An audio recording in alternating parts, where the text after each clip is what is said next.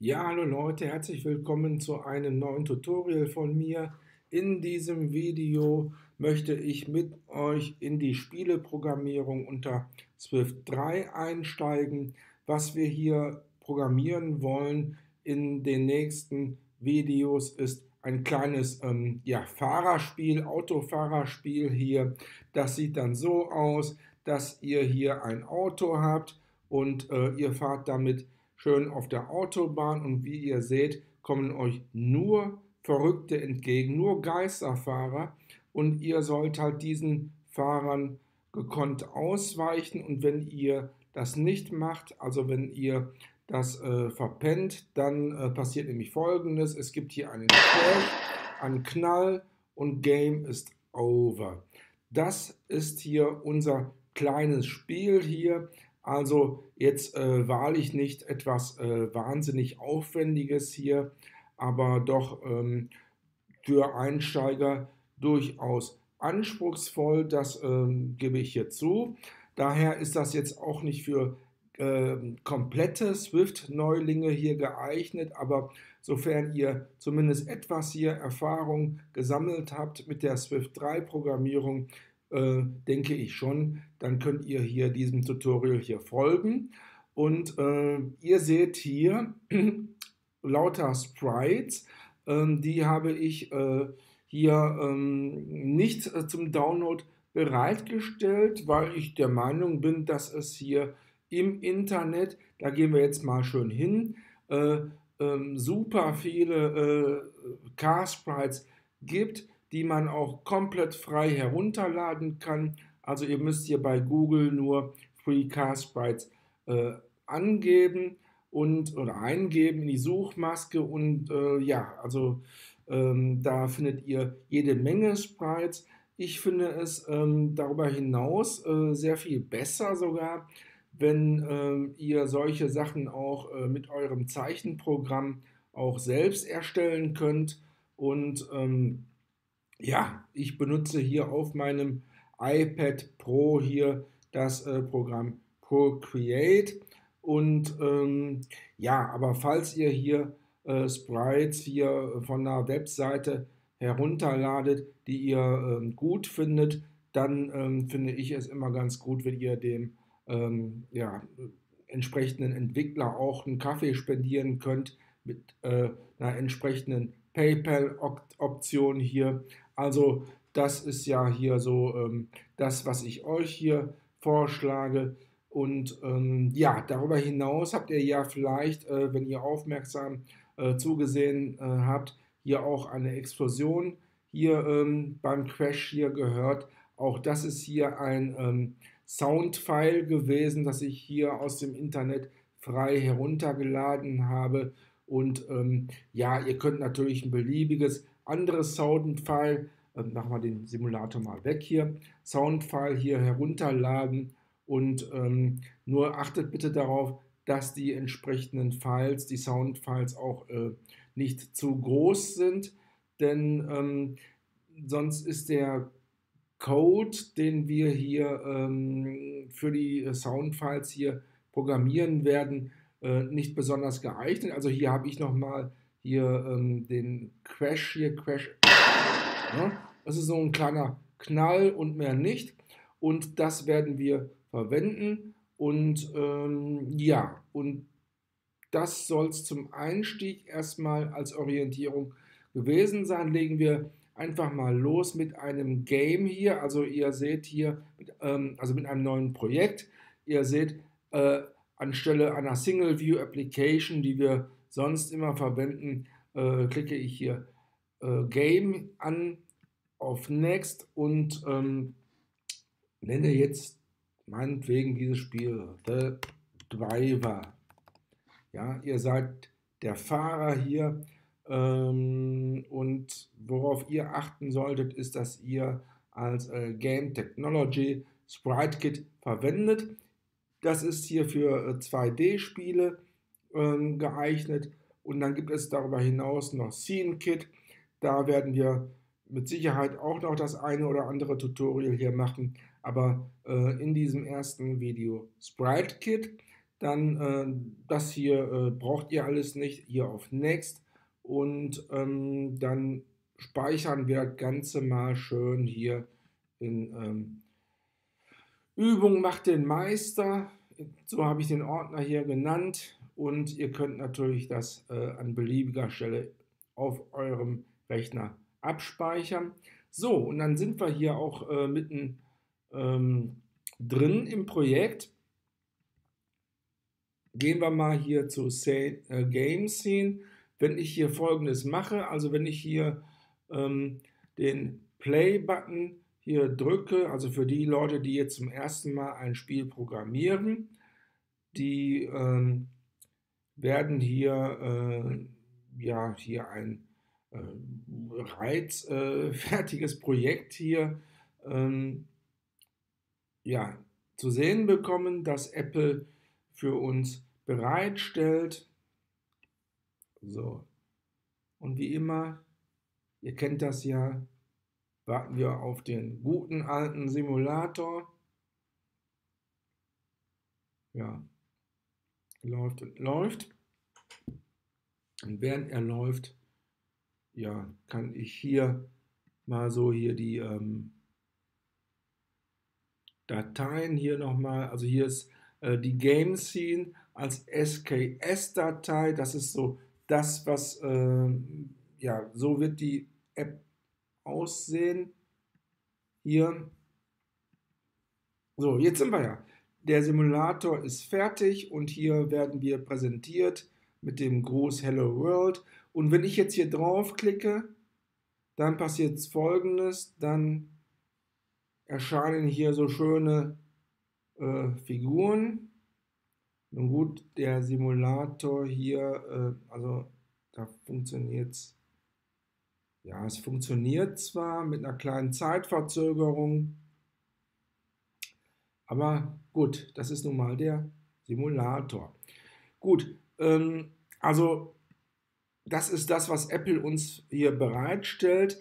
Brauchen wir nicht, denn wir wollen ja hier unser ähm, Driver-Spiel hier machen. Ich markiere hier in GameScene.sks hier das Hello World Label, drücke auf die Return-Taste und lösche es. Dann, ähm, was ich noch mache, ist, hier seht ihr, wenn ihr rechts schaut, hier in der Leiste, seht ihr hier den Eintrag Anchor Point. Das ist hier dieses Kreuz. Und dieses Kreuz symbolisiert den Ursprung des Koordinatensystems, denn wenn wir Objekte hier in unserer Game Scene ähm, positionieren, dann beziehen wir uns hier auf die Koordinaten. Und ähm, ja, es ist hier so, dass hier äh, in der waagerechten, also rechts hier, ähm, sind dann halt ähm, die positiven x-Werte, äh, hier werden die negativen x-Werte, hier sind die positiven y-Werte. Und wenn man runtergeht vom Ursprung aus gesehen, dann ähm, erhalten wir die negativen y-Werte. Es ist also wie in der Schule oder wie in der Uni. Was ich jetzt aber mache, ist, ich ähm, setze hier den Ursprung des Koordinatenkreuzes ganz woanders hin, nämlich hier in die linke untere Ecke, also auf Anchor Point 0, 0. Das sind die Werte, die ich hier eingebe und das verschiebt hier den ähm, Ursprung des Koordinatensystems hier links unten, so dass ich also hier, falls ich hier, ähm, das werden wir auch machen, äh, also wenn wir hier äh, Objekte hier positionieren in unserer Game äh, Scene, dann äh, arbeiten wir hier vorrangig hier mit positiven y-Werten und positiven x-Werten. Das vereinfacht hier in diesem Fall ganz einfach hier ähm, die Positionierung der Objekte. Okay, ähm, ich gehe jetzt hier weiter in den Game Scene in die Game Scene Swift-Datei und ähm, also wir haben hier allerhand Code, den benötigen wir gar nicht. Ich lösche das hier daher mal weg. Override Func, das ist die ähm, Override Func Did Move. Das ist die einzige Funktion, die wir zunächst einmal in Anspruch nehmen. Alles andere lösche ich, also inklusive hier der Update-Methode. So. Ja, damit hätten wir schon fast eine jungfräulich reine freie ähm, äh, Datei hier, Swift-Datei. Und ähm, so, jetzt haben wir einfach nur, ja, nichts, also eine schwarze Fläche. Das soll nicht dabei bleiben, denn ähm, ja, wir wollen jetzt hier mit der Programmierung beginnen. Was brauche ich denn, wenn ich hier ein ähm, Car-Game hier habe? Ganz einfach, ich brauche als erstes eine Straße und ja, dementsprechend lege ich hier eine Funktion an, Fang, ähm, Setup Sidelines. Das sind die Seitenstreifen links und rechts, die möchte ich hier kreieren in dieser Funktion und diese Funktion ja, wird natürlich aufgerufen in der did move to view Methode. Did move to view, das ist die erste Funktion, die ähm, beim Laden der Zähne ausgeführt wird.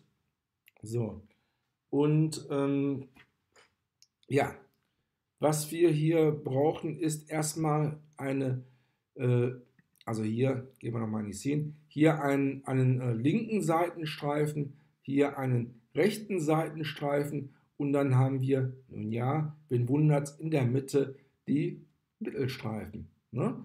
Okay. Let left line. Gleich sk shape node.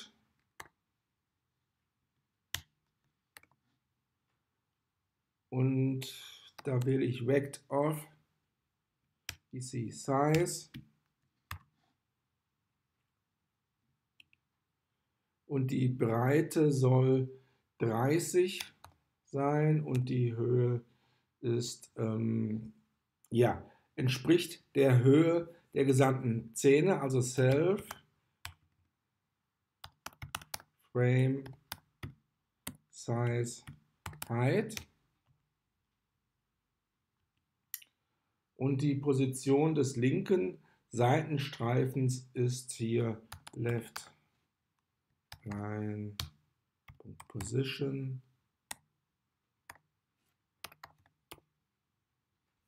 Irgendwas funktioniert hier nicht. Ich glaube, hier fehlt noch eine runde Klammer. Left Line Position ist gleich CG Point. Und ähm, die Position ist für den x-Wert 0 und für den y-Wert self.frame size height durch 2. Left Line Stroke Color ist gleich SK Color. Punkt. Was nehmen wir da? Also wir könnten jetzt weiß verwenden, aber mein Gott, warum soll man das nicht farbenfroh halten? Meinetwegen Orange. Ne? Left Line Stroke color ist orange und left line fill color. Machen wir genauso. SK color.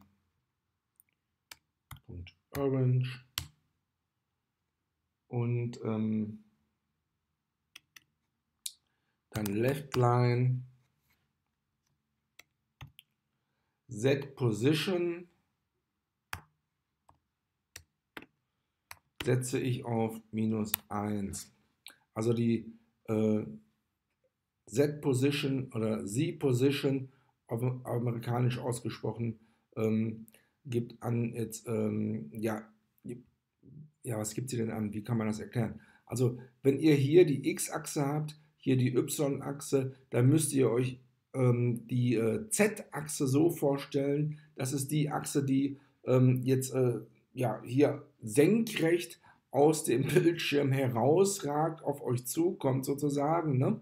Und wenn wir hier ähm, die äh, Z-Position auf minus 1 setzen, dann ähm, äh, setze ich äh, die, den Streifen etwas zurück. Das ist aber nicht sichtbar, sondern ähm, verhindert halt nur, dass halt dieser Streifen hier eben äh, mit anderen Objekten kollidiert. Ne?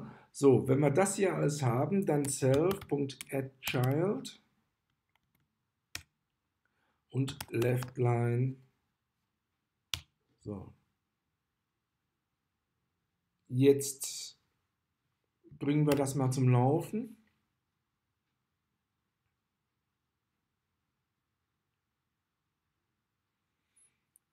Und sehen, was wir haben. Ja, da haben wir hier den linken Seitenstreifen. Nur finde ich also wirklich diesen iPhone 7 Plus Simulator grauenhaft, also wirklich grauenhaft. Deswegen verwende ich künftig jetzt hier den iPhone 7 Simulator. Gut, ähm, wir können hier eigentlich auch eine andere Farbe Cyan nehmen. Also irgendwie das Orange gefällt mir nicht, aber gut. Viel rummachen werde ich jetzt auch nicht mit den Farben. Ihr könnt das natürlich viel besser hier und ähm, nehmt euch da mehr Zeit, um euch die Farben vernünftig auszusuchen oder nach eurem Gusto auszusuchen. Okay, Left Line und äh, wir brauchen auch noch hier einen rechten Seitenstreifen. Ich kopiere das Ganze. Das ist natürlich nicht ganz ohne Gefahr, denn beim Kopieren passieren die meisten Fehler. Gut, Left Line ähm, wird ersetzt durch Right Line. Das hier kann so bleiben. Left Line Position ist dann hier ähm, allerdings hier, ähm, das ist Self Frame Size Width. Das befindet sich also jetzt hier auf der rechten Seite. Das hier bleibt, das hier bleibt. White Line und ähm, okay, jetzt bringen wir das nochmal zum Laufen.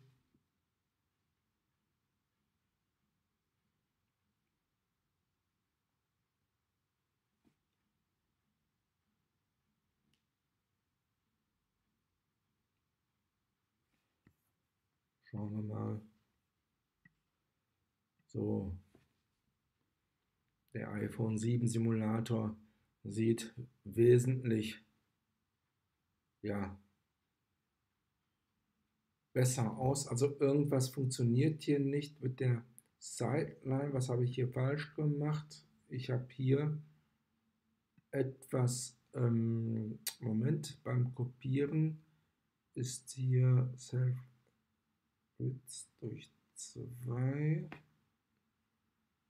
Moment mal, was war das hier?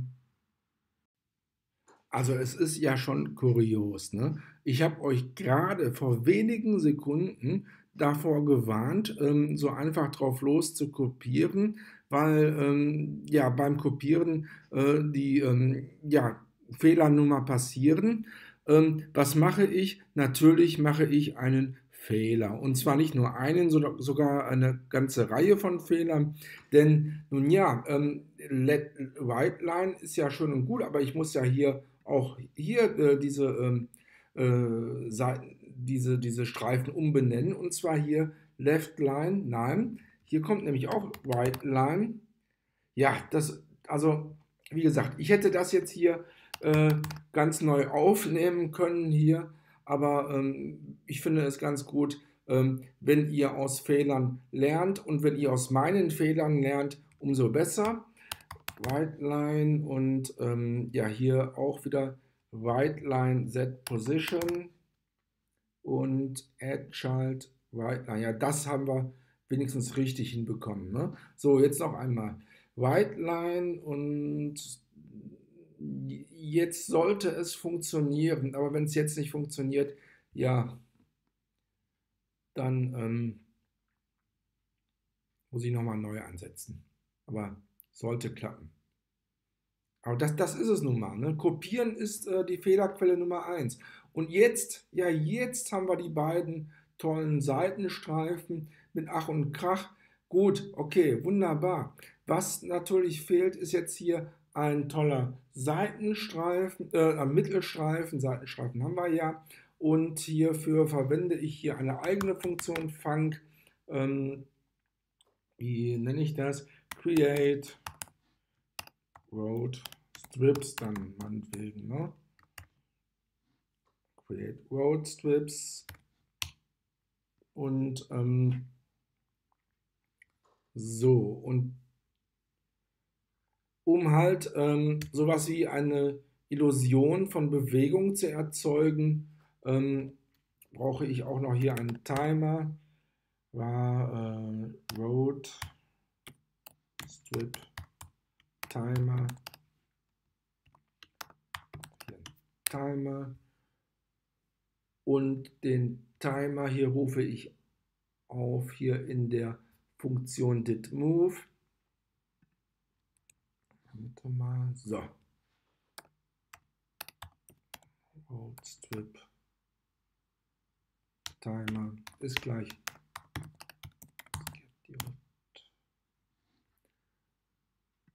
So, und Time Interval, das können wir hier setzen auf ähm, 0.3. Target is self, selector,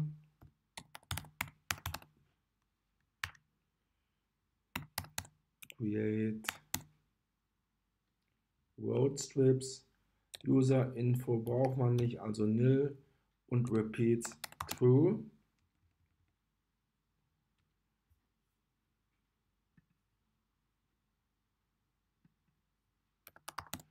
So,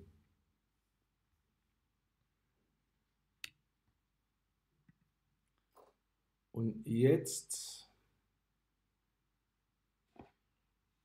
gehen wir hier in die Funktion und let road strip ist gleich. Das ist wieder ein SK Shape Node.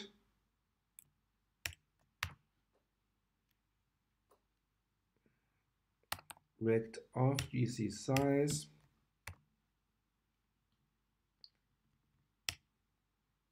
Und als Breite lege ich jetzt mal 10 fest und Höhe soll 100 betragen. Wenn euch andere Werte gefallen, dann nehmt eben andere Werte.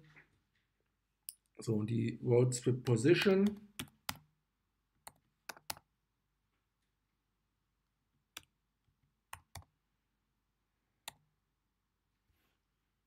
Fehlt hier wieder was? Jo, eine runde Klammer.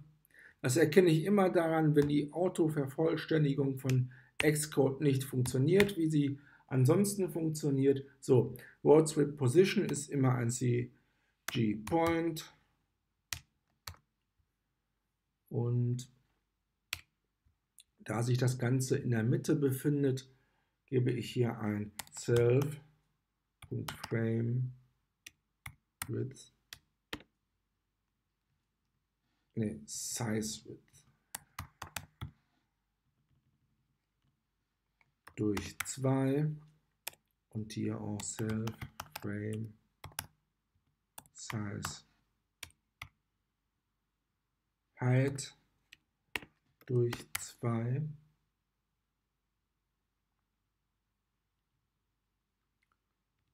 und der Mittelstreifen soll weiß sein, also Road Strip Stroke Color ist gleich SK Color. White. Rot. Strip. Fill Color ist gleich SK Color. White.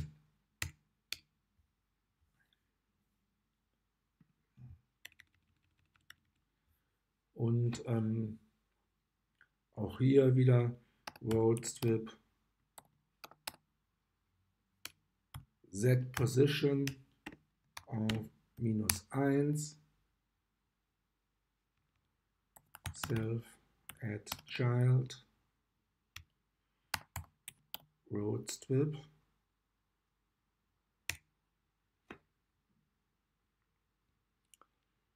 Und jetzt sorge ich für die Bewegung. Ich will, dass sich halt diese Seitenstreifen bewegen und dafür definiere ich erstmal ein Let Animation. Das ist ein Time Interval. Und das soll jetzt hier 6 sein. Diese Werte sind übrigens keine Werte, die mir jetzt hier äh, die Englein im Schlafe äh, mitgeteilt haben, sondern die habe ich äh, herausgefunden durch Ausprobieren. Und wenn ihr durch Ausprobieren andere Werte besser findet, dann ähm, fühlt euch vollkommen frei ähm, zu tun und zu lassen, was ihr wollt und die ähm, Zeiten auch anders zu setzen und auch hier Breiten und Höhen anders zu setzen. Also das ist euch überlassen. So, ein Action Array.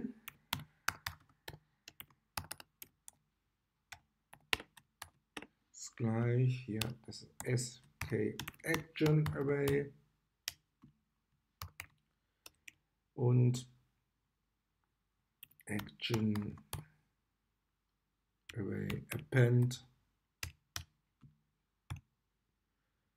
Und hier haben wir hier SK Action Move. Und diese Seiten, äh, diese Mittelstreifen sollen sich nach unten bewegen und zwar ähm, minus äh, Road Strip.size nee, Frame Frame Punkt Frame, ähm, Size, mein Gott, Height. Duration ist hier das Animation Duration.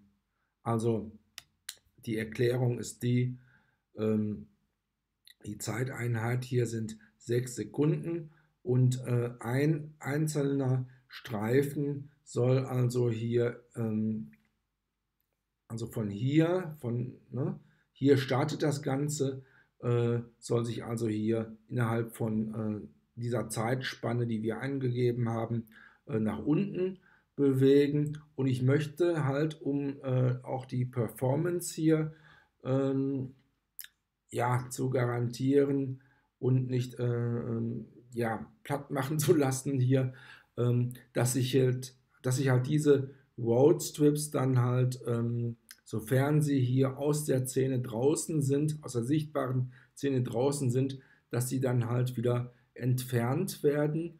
Deswegen hier eben dieses Action Array. Also Bewegungen ähm, laufen hier mit SK Action und äh, ich brauche dafür noch ein äh, SK Action, also Append hier und Remove from Parent. So, und dann bringe ich das Ganze hier zum Laufen, indem ich hier roadstrip .run Sequence Array. So, Roadstrip, das war's, glaube ich. Und wenn ich jetzt keinen groben Fehler gemacht habe, sollte es tatsächlich laufen.